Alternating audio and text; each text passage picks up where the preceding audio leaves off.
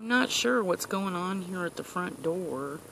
Um, I moved the sugar water inside the hive, but they're kind of clustered here by the front door. And as you can see, I got another can over here with sugar water, and they're clumping up over there too. But I guess that's because of the sugar water. The front door situation, I don't know what that's about.